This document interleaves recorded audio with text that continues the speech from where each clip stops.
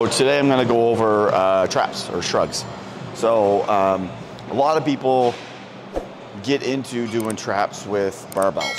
So um, barbell shrugs are great, um, but you have to do the form correctly. And um, personal preference, I like dumbbells a little bit better. Uh, so I'm going to go over the reasons why.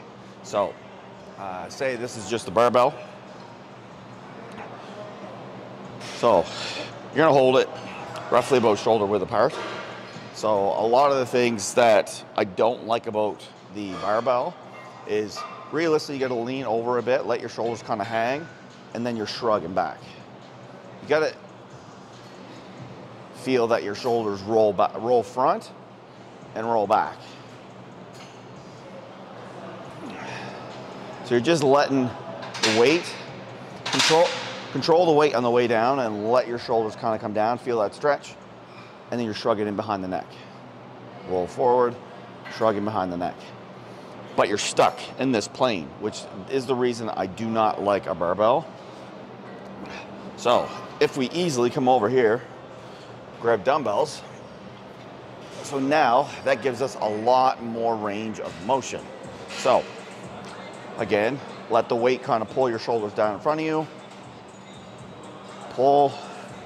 And notice I got a lot more freedom in where my shoulders go now. And there's no bouncing. I'm not like doing this. And I'm just, I'm not bouncing it this way. There's a lot of control. So up, down.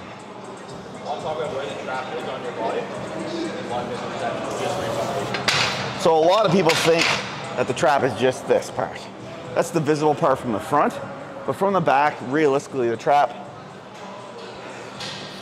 without having a diagram, so if you look at basically the back, you're looking at the shoulder and then down to the hips. The trap is a real, like it's almost the shape of a triangle up here.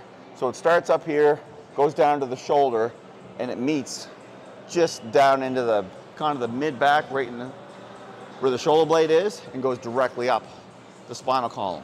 So it stretches all the way out and then it comes all the way up.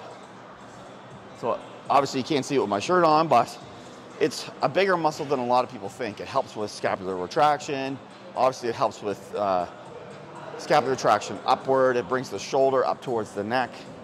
But it, to stretch it, it's just not down straight this way. You gotta roll a little bit forward because it's a part of the back.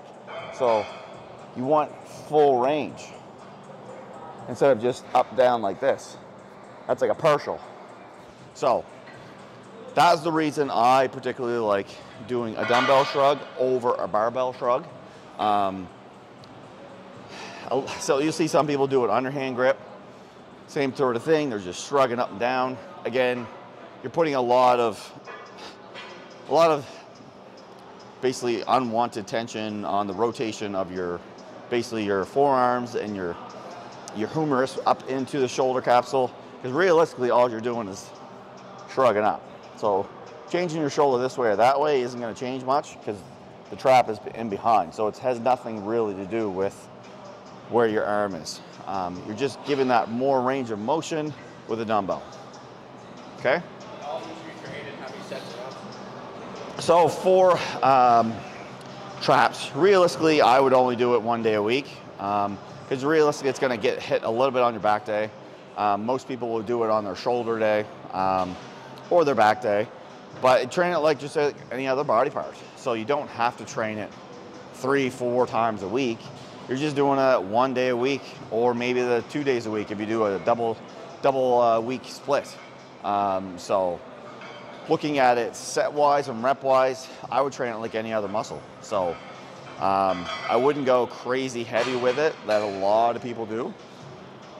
Pick a weight that you can control the weight, do the proper form, and not just basically bouncing it using momentum. So you want to do it in a way that you can, you always want to control the weight. You're not letting the weight control you.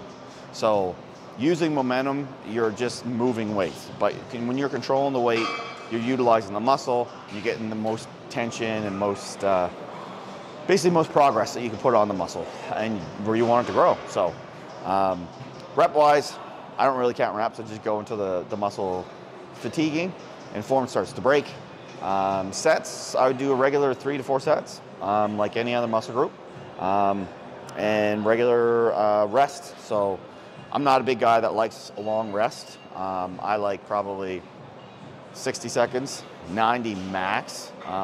I always go on the feel of how your body feels. So in between my sets, um, if I think I'm starting to lose a pump or um, I'm just feeling like I'm fully recovered, I'm ready for another set, I jump back in. So there's not a lot of rest when I work out. Um, I don't do a lot of talking. I think it's waste of your time. You're in here to work out, get your job done, get in here and get it done. So